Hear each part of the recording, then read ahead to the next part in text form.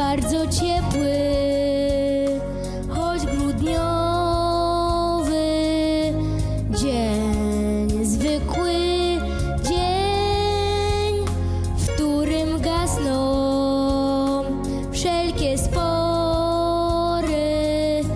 Jest taki dzień, w którym radość wita wszystkich.